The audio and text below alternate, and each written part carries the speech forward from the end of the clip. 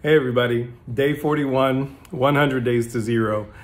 Today's big idea is picking up where the pastor left off, or actually picking up where the apostles left off, because we're going to read that again today in the scripture. That where the apostles needed help, where they actually needed the people of God, they called people who were respectable, full of the Spirit, and full of wisdom. And there's a hard phrase in this scripture for us pastors. It says, we will give them this responsibility. But the reality is, if we think all the way back to day one, Ephesians chapter 4, it's the job of the fivefold ministry to equip you to do the work of the ministry.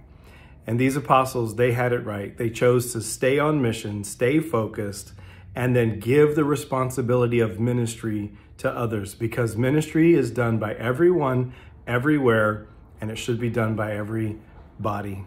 Hey, I love you guys. I'll talk to you later.